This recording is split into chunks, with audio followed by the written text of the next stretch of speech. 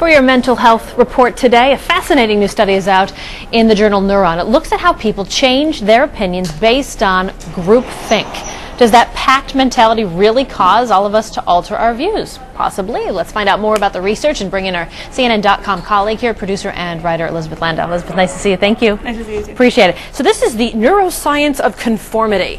Uh, let's break that down so we all understand it so we can press our friends at the dinner table or you know our colleagues a little bit later in the office. Uh, it's it's basically a, a group mentality that influences the way you think. So you may think it's blue, but everybody else around you is saying it's red, so you go with red as the answer. That's right. Basically, people have a tendency to go with the group opinion, especially if they're kind of on the fence about it. And um, the new study looks at people's perceptions of beauty, and you know, the, everybody was asked to rate 22, sorry, 222 faces mm-hmm. uh, from one to eight on, um, you know, how beautiful they are. And first they said one thing, and then after they spoke to the researchers a bit, the researchers told them what the average rating was. Those people actually shifted the rating towards the average. Now, this research was done again with perceptions of what we consider beauty, beauty in the eye of the beholder. But this holds larger uh, ramifications when you think of a group mentality that will take place in a committee meeting here at CNN.com, at, at your workplace, or perhaps even on a jury.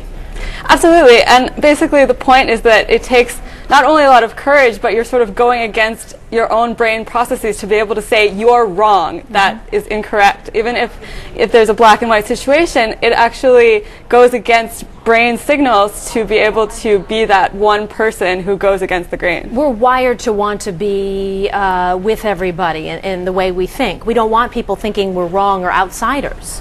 Exactly, and in fact, there's an evolutionary reason for that. When you think about, you know, um, tens of thousands of years ago, when people were in the wild and um, you had to, you know, fight for your life against predators, it was safer to be in the pack than to wander off on your own. Okay, so you're doing this research. You've spoken, I know, to uh, a, a medical expert at Emory University here, which is based in Atlanta. So I'm curious if you've studied some of your own behaviors. And said, oh, that's why I did that.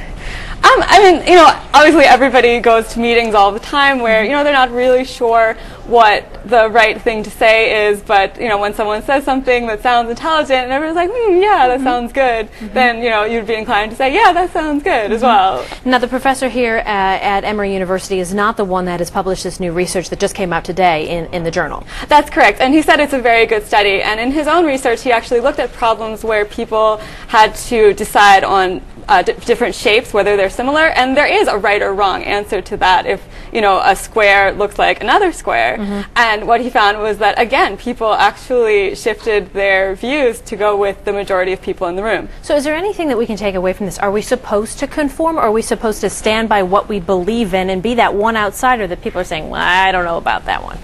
Um, yeah, and actually, you know, a famous researcher, Solomon Asch, said that the, there is a lot of power in being the minority of one, that if there is a group where you know everybody seems to agree, but there is one person who says no, this is incorrect, mm -hmm. then that group is substantially weakened. So I guess the takeaway message is that if you feel very strongly about something, you know, stick with it and, and voice your opinion and see where that goes. It's okay to be that dissenting vote. Sure.